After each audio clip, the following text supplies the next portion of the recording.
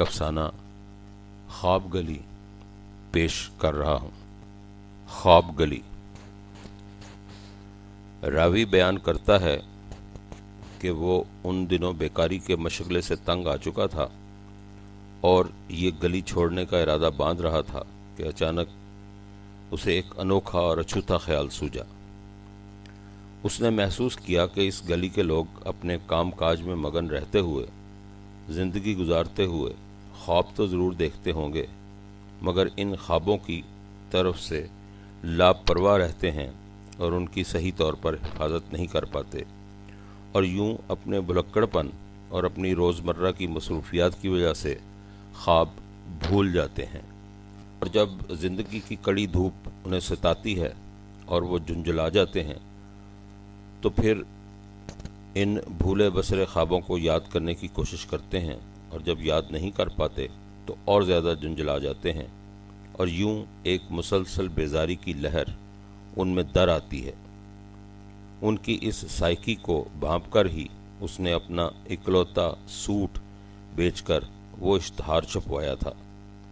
اشتہار کچھ یوں تھا۔ خواتین و حضرات، آپ یقیناً اچھے اور خوبصورت خواب دیکھتے ہیں۔ خواب دیکھتے ہیں اور بھول جاتے ہیں۔ جب بھول جاتے ہیں تو اداس ہو جاتے ہیں۔ اور جب اداس ہو جاتے ہیں تو آپ کی زندگی میں پھیکا پن پیدا ہو جاتا ہے۔ اگر ایسے میں کوئی آپ کو آپ کا خوبصورت سجا سجایا، خوشی سے لدا پھندا، وہ بھولا بسرا خواب یاد دلا دے، تو کیا آپ خوشی محسوس نہیں کریں گے؟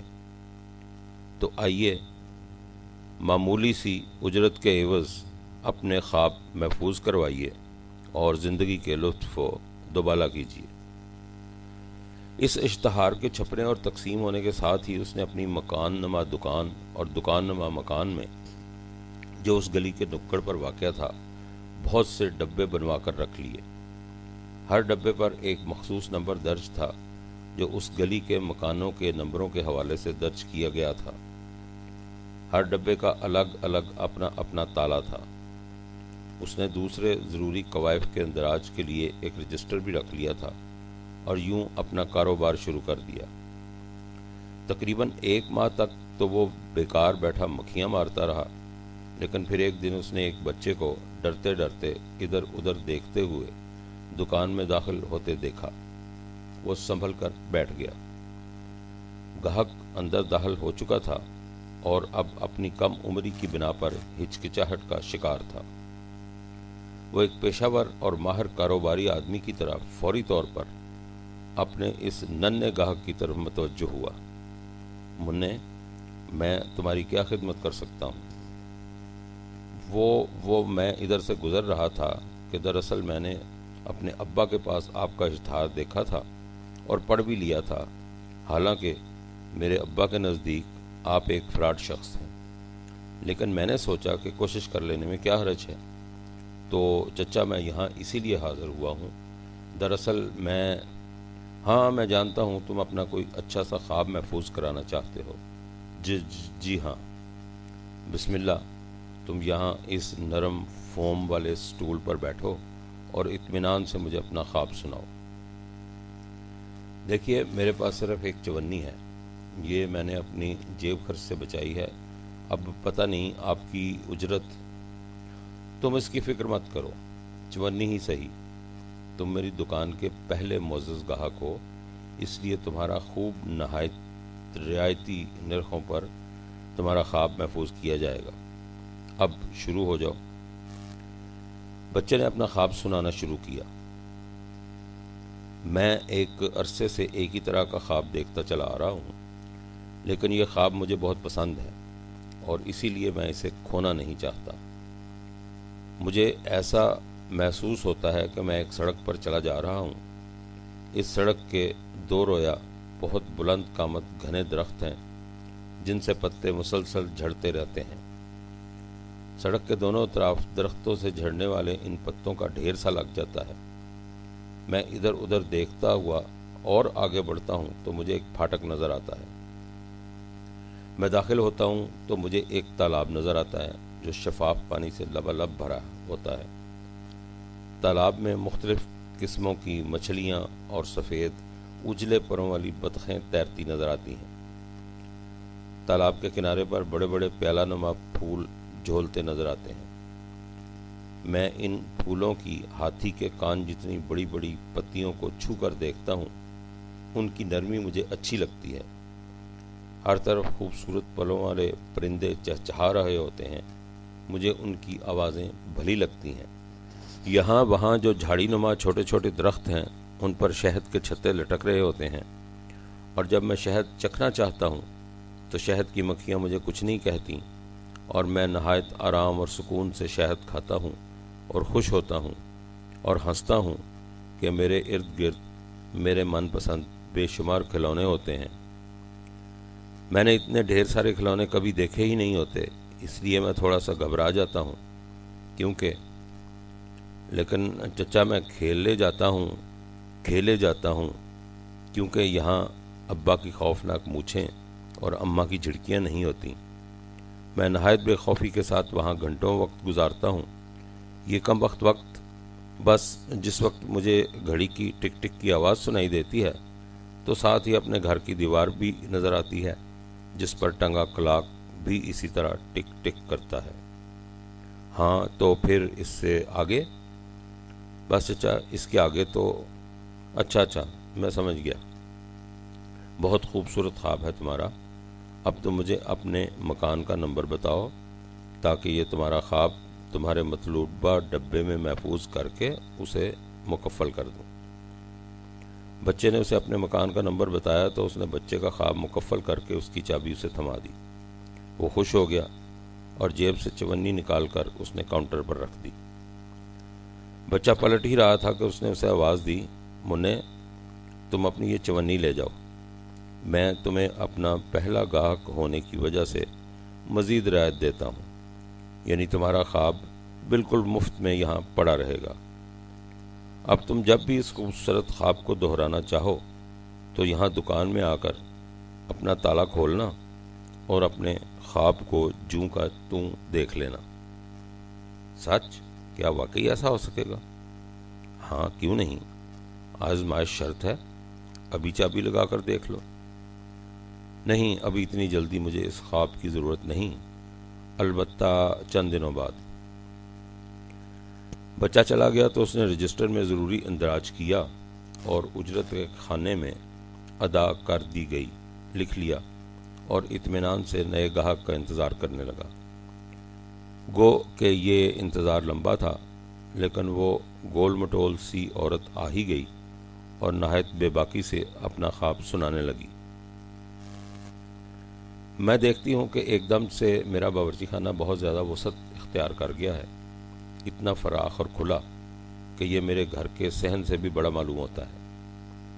اس کی ایک کھڑکی باغ میں کھلتی ہے، جہاں سے رنگ برنگے پھول اپنی بہار دکھاتے ہیں۔ باورچی خانے میں اشیاء خرد و نوش کا ڈھیر ہے۔ اشیاء کی اتنی فراوانی ہے کہ میں انہیں سنبھال نہیں پاتی۔ میں مختلف قسم کے خوشبودار کھانے پکاتی ہوں۔ گھر میں مہمانوں کا تانتا بنا رہتا ہے۔ میں نئے نئے پکوان بناتے تھکتی نہیں اور اچھے اچھے مشروبات سے لوگوں کی توازوں میں لگی رہتی ہوں۔ ہر طرف کہہ کہے بکھرتے ہیں۔ سب میرے کھانوں کی تعریف کرتے ہیں۔ حتیٰ کہ میرا شوہر بھی، جس کو کبھی بھی میرے ہاتھ کی بنائی ہوئی کوئی چیز پسند نہیں آتی۔ ہر چیز خوب چٹہارے لے لے کر کھاتا ہے اور اپنی انگلیاں چاٹتا ہے اور مجھے پیار بھری نظروں سے تکتا ہے۔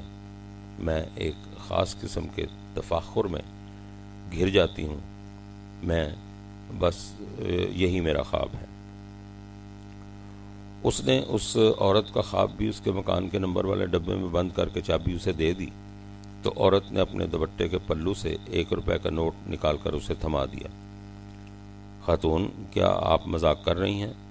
اتنے اچھے اور خوبصورت کی خواب کی اجرت صرف ایک روپیہ۔ بھائی، میرے پاس تو یہی کچھ ہے۔ یہ بھی میں نے اپنے شوہر سے چوری گھر کے خرچ سے بمشکل بچایا ہے۔ تم اس کو قبول کر لو تو نہیں، خاتون، آپ اسے رکھ لیں۔ میں پھر کبھی لے لوں گا۔ اتنی جلدی بھی کیا ہے؟ اب تو آپ اپنا خواب دیکھنے یہاں آتی جاتی رہیں گی اور پیسے بھی آ جائیں گے۔ جب آپ کو سہولت ہوگی تو دے دیجیے گا۔ وہ اس کا شکریہ ادا کر کے چلی گئی اور وہ پھر ایک نئے گاہک کے انتظار میں لگ گیا۔ اگلا گاہک ذرا جلدی ہی آ گیا۔ یہ ایک لنگڑا شخص تھا۔ اس کا خواب بڑا مختصر تھا۔ وہ گویا ہوا، جناب علی، مجھے ہر رات خواب میں ایک درخت نظر آتا ہے۔ اس درخت کی لکڑی سے خوشبو مرتی ہے۔ مسحور کن، مدہوش کرنے والی خوشبو۔ پھر ایک کاریگر اس خوشبودار لکڑی والے درخت سے میرے لیے ایک خوبصورت مصنوعی ٹانگ تیار کرتا ہے۔ ہر شب خواب میں یہ ٹانگ مجھے عطیے کے طور پر دی جاتی ہے۔ ابھی میں اس مصنوعی ٹانگ کی مدد سے چل بھی نہیں پاتا کہ خواب ختم ہو جاتا ہے۔ مگر جناب علی، کیا یہی کافی نہیں کہ وہ ٹانگ مجھے عطیے کے طور پر پیش کی جاتی ہے؟ وہ لنگڑا شخص خواب سنا کر بھی یوں خوش ہوتا ہے جیسے وہ ایک خوبصورت مصنوعی ٹانگ کے سہارے کھڑا ہو۔ اس کا خواب بھی محفوظ ہوا اور افزانہ بھلا وہ بیچارہ کیا افزانہ دیتا؟ وہ تو تھا ہی تہی دامن۔ البتہ اس بار بھی اس نے پہلے خوابوں کی طرح اجرت کے خانے میں ادا کر دی گئی کہ الفاظ ہی درج کر دیے تھے۔ اس کے بعد بھی کافی دیر تک خاموشی رہی۔ کوئی گاہک نہ آیا، لیکن دیر آیت درست آیا۔ اب کی بار لوگوں کی نظروں سے بچتا بچاتا، چھپتا چھپاتا اپنے پسینے میں شرابور، میلے گندے کپڑوں میں ملبوس خاکروب آ پہنچا اور دھیمے لہجے میں اس نے کہنا شروع کیا، باؤ جی میں صبح سے شام تک جھاڑو پھیر پھیر کر گند اٹھا اٹھا کر اتنا تھک چکا ہوتا ہوں کہ رات کو سوتے میں اکثر خواب مجھ سے کنی کترا کر گزر جاتے ہیں۔ ہاں باؤ جی مجھے خواب ذرا کم ہی آتے ہیں، لیکن اب چند دنوں سے ایک خواب نے میرا پیچھا کرنا شروع کر دیا ہے۔ کیونکہ یہ خواب میں دن میں جاگتے ہوئے بھی دیکھتا ہوں۔ یعنی ایک دم سے میرا حلیہ تبدیل ہو جاتا ہے۔ ان گندے بدبودار کپڑوں کی جگہ میں ایک شاندار سوٹ پہن لیتا ہوں۔ سوٹ کے ساتھ میچ کرتی ٹائی کی لشک بھی مجھے اچھی لگتی ہے۔ پھر اوپر سے ایک اور عنایت کہ میرے ہاتھ میں پکڑے جھاڑو کا دستہ خالص سونے کا بنا ہوتا ہے اور اس جھاڑو کی تیلیاں چاندی کی بنی ہوتی ہیں۔ میں ایک خاص انداز کے ساتھ جب اپنا بایاں ہاتھ کمر پر رکھے دائیں ہاتھ سے جھاڑو پھیرتا ہوں، تو گرد کا ایک ذرہ تک نہیں اڑتا۔ کوئی دھول مٹی نہیں ہوتی۔ صفائی خود بخود ہوتی چلی جاتی ہے۔ اتنی صفائی ستھرائی دیکھتا ہوں کہ مجھے الجھن ہونے لگتی ہے۔ لیکن اس الجھن میں بھی ایک بے پناہ خوشی چھپی ہوتی ہے۔ میں ان دنوں بہت خوش ہوں۔ میں اپنی اس خوشی یعنی خواب کو محفوظ کروانا چاہتا ہوں۔ اس کے عوض تمہیں دینے کے لیے میرے پاس کچھ بھی نہیں، لیکن تم فکر نہ کرو، میں پورے ایک سال تک تمہارے اس گھر یا دکان کے سامنے سے، بلکہ اس کے اندر بھی مفت صفائی کر دیا کروں گا۔ بس باؤ جی تم جلدی سے۔ اچھا بھائی اچھا تم اپنا سانس درست کرو۔ میں تمہارا خواب یوں چٹکی بجاتے ہوئے محفوظ کر لیتا ہوں۔ اس نے روٹین کی کاروائی مکمل کی اور اس کے خواب کو ایک بے نمبرے ڈبے میں مکفل کر دیا، کیونکہ وہ ادھر ادھر تھڑوں پر پڑا رہتا تھا۔ اس کا کوئی گھر تو تھا ہی نہیں، اور یہ اس گلی کا واحد بے نمبرہ خواب تھا۔ خاک خاکروب کے بعد نان بائی آیا، پھر لکڑہارا آیا۔ ایک نرس بھی آدھم کی۔ بڑھاپے کی طرف مائل ایک طوائف نے بھی اس کی دکان میں قدم رکھا۔ اور پھر مولوی صاحب نے بھی قدم رنجا فرمایا۔ مولوی صاحب کا خواب البتہ کافی بے ربط سا تھا۔ اس نے اس خواب پر بڑی محنت کی۔ مناسب کانٹ چھانٹ اور بہت سے سکم دور کرنے کے بعد اس نے اس خواب کو بھی محفوظ کر لیا۔ اس کے بعد تو جیسے خوابوں کی کتار لگ گئی۔ بچے، بوڑھے، جوان، عورتیں، لڑکے، لڑکیاں، سب لوگ آتے، اپنے خواب سناتے اور اپنے لاکر کی چابی لیتے اور یہ جا وہ جا۔ رہا افزانہ، تو اس کے رجسٹر میں اجرت والا خانہ خالی ہی رہا، کہ لوگوں کے پاس اسے دینے کے لیے کچھ تھا ہی نہیں۔ کوئی معمولی سی ریزگاری لے آتا، کوئی اسے اپنے خواب کے عوض اپنی اچھی سی قمیض، جوتا فاؤنٹن پین، ربن، فراق، تصویروں والی کتاب، اپنا پالتو کتا یا بلی، اپنے گھر کے صحن میں اگا ہوا کوئی پھول، کوئی چمکدار بٹن، کوئی پرانا تمغہ یا گیند وغیرہ وغیرہ قسم کی چیزیں پیش کرتا۔ اب بھلا وہ ان سے ان کی یہ پیاری اور خوبصورت چیزیں محض ان کے خوابوں کے افزانے کے طور پر کیسے قبول کر سکتا تھا؟ اور اس طرح اس کا پیسوں والا بخش تو خالی رہا۔ مگر دکان میں موجود لاکر ان لوگوں کے خوابوں سے بھر گئے۔ وہ کسی کو اپنا خواب دیکھنا ہوتا تو وہ اپنا خوبصورت لباس پہن کر آتا۔ خاص قسم کی خوشبو لگاتا۔ عورتیں اس دن خاص اہتمام کرتیں۔ ان کا میک اپ اگرچہ سادہ ہوتا، مگر وہ نکھری نکھری سی ہوتی بچے خوشی سے پھدکتے پھرتے، بوڑھے آپس میں محبت سے گلے ملتے اور سب اپنے اپنے خواب دوبارہ سے بارہ، بلکہ سینکڑوں مرتبہ دیکھتے اور ہنسی خوشی چلے جاتے۔ وہ اسے بڑی عزت سے پکارتے، انہوں نے اس کو خوابوں کا محافظ کا نام دے رکھا تھا۔ اور وہ بڑے فخر کے ساتھ چھاتی پھلائے دکان میں ادھر ادھر بھاگتا پھرتا۔ اس کی مصروفیت بڑھ گئی تھی۔ دن میں اکثر لوگ اپنے خواب دوبارہ دیکھنے آتے اور کئی تو اپنی تسلی کے لیے جلدی میں آتے اور اپنے ڈبے کو اس طرح مکفل پا کر اور اپنے خواب کو محفوظ پا کر صرف ڈبے کو تھپ تھپانے ہی پر اکتفا کرتے اور روانہ ہو جاتے۔ لیکن بعض اوقات کچھ بے یقینی کے مارے لوگ اور کم خوابی کے مریض، اس کے کلائنٹ رات کے کسی حصے میں آدھمکتے اور اپنے خواب کو دیکھنے میں مگن ہو جاتے۔ اس طرح اس کی نیند تو ضرور خراب ہوتی، مگر چونکہ وہ ان کے خوابوں کا محافظ تھا، اس لیے وہ اپنے ماتھے پر بال ڈالے بغیر ان کی خدمت میں لگ جاتا۔ اب ویسے بھی کافی عرصے سے اس کی نیند بہت کم ہو گئی تھی۔ دراصل اسے ہر وقت یہ دھڑکا لگا رہتا تھا۔ کہ کہیں کوئی مردود، کوئی بغیر ماں کا جنا ان بیچارے لوگوں کے خواب چرا کر نہ لے جائے۔ اسی لیے اب وہ راتوں کو اکثر جاگتا ہی رہتا تھا۔ ذرا سے کھٹکے پر وہ الرٹ ہو جاتا۔ دن رات کی باغ دوڑ اور محنت نے اس کی صحت پر بات کر کے رکھتی تھی۔ وہ کچھ سست سست رہنے لگا تھا۔ اب جب بھی کوئی اپنا خواب دیکھنے آتا تو وہ خاموشی سے اسے دیکھتا رہتا۔ ایک اندیکھی تھکن اور پجمردگی نے اسے چاروں طرف سے مکڑی کے جالے کی طرح گھیر لیا تھا۔ ایک دن یوں ہی رواداری میں وہ اپنے رجسٹر میں درج شدہ لوگوں کے کوائف چیک کر رہا تھا کہ اس پر انکشاف ہوا کہ گلی کے تمام مکین تو اپنے خواب اس کے پاس محفوظ کرا چکے تھے، مگر ایک سو چودہ نمبر والی ابھی تک نہیں آئی تھی۔ اس نے سوچا، کیا پتا کہ اس نے ابھی تک کوئی خواب ہی نہ دیکھا ہو۔ اور اگر دیکھا بھی ہو تو شاید اس نے اسے محفوظ کرانا مناسب نہ سمجھا ہو، یا پھر یہ کہ وہ خود ہی اپنے خواب یا خوابوں کو محفوظ کرنے پر قادر ہو۔ اب تھکن اور پجمردگی کے ساتھ ساتھ اسے ایک سو چودہ نمبر والی کی یہ بے تعلقی اور لاپرواہی بھی پریشان کرنے لگی تھی۔ کبھی کبھار وہ سوچتا، جہنم میں جائے، مجھے کیا؟ اگر اسے ہی ضرورت نہیں تو پھر میں کیا کر سکتا ہوں؟ ایک دو بار وہ اپنی دکان چھوڑ کر اس کے گھر تک چلا گیا۔ ہر بار وہ اس کے گھر کے دروازے پر دستک دیتے دیتے رہ گیا۔ نہیں تو نہ صحیح۔ بڑبڑاتا ہوا وہ واپس ہو لیتا۔ اس کی دکان گلی کے لوگوں کے نئے، پرانے، تازہ بتازہ، خوبصورت، سجیلے خوابوں سے لدی پھندی تھی کہ اس شام اسے خیال آیا کہ آج تک وہ لوگوں کے، دوسروں کے خواب تو محفوظ کرتا آیا تھا۔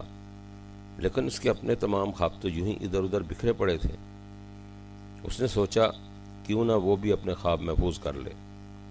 کیا پتا کل کلاں کو اس کی یادداشت اتنی خراب ہو جائے کہ جب وہ اپنا کوئی خواب یاد کرنا چاہے تو اسے یاد ہی نہ آئے۔ اس وقت وہ کیسے کرب کا سامنا کرنا پڑے گا؟ جب وہ اٹھا اور اس نے کوئی خالی ڈبہ تلاش کرنے کی کوشش کی لیکن وہ یہ دیکھ کر حیران رہ گیا کہ وہاں کوئی خالی ڈبہ بچا ہی نہ تھا۔ بس لے دے کے ایک سو چودہ نمبر والی کا ڈبہ خالی پڑا تھا۔ اب وہ اسے اپنے خواب کے لیے کیسے استعمال کر سکتا تھا؟ وہ تو صرف اس کے لیے مخصوص تھا۔ کیا پتا کس وقت وہ اپنا کوئی خواب لے کر اس کے پاس آ جائے۔ نہیں نہیں، اس نے سوچا، اس ڈبے پر اس کا کوئی حق نہیں۔ اس لیے اور یوں بے خیالی میں اس نے اپنے خوابوں یا اپنے کسی ایک خواب کو اپنے ذہن میں دہرانے کی کوشش کی، مگر وہ یہ محسوس کر کے ششدر رہ گیا کہ وہ اپنے تمام خواب بھول چکا تھا۔ اس کا ذہن ایک خالی سلیٹ بن چکا تھا۔ خواب یاد کرنے کی اس کی ساری کوششیں اکارت گئیں۔ اب وہ اپنی یادداشت ہمیشہ کے لیے گنوا بیٹھنے والا ایک بیکار شخص تھا۔ اسے اپنے خوابوں سے محروم ہو جانے کا بہت دکھ تھا۔ اسی دکھ نے اسے بہت لاغر اور کمزور کر دیا، پھر اس کے سینے میں درد رہنے لگا۔ اس دن جب اسے دل کا دورہ پڑا تو لوگوں سے اس کی دکان بھری پڑی تھی۔ وہ سب اس کی طرف توجہ دینے اور اسے پوچھنے کے بجائے اپنے اپنے لاکروں پر جھپٹ پڑے تھے۔ وہ اپنے اپنے خواب واپس لینے آئے تھے، مگر ان بھلے مانسوں کی چینا جپٹی اور بے صبری کی وجہ سے ان سب کے خواب بکھر کر چکنا چور ہوئے جا رہے تھے۔ بس وہ آپس میں لڑتے، جھگڑتے، ایک دوسرے کو کوہنیاں مارتے، برابر دکم پیل کیے جا رہے تھے۔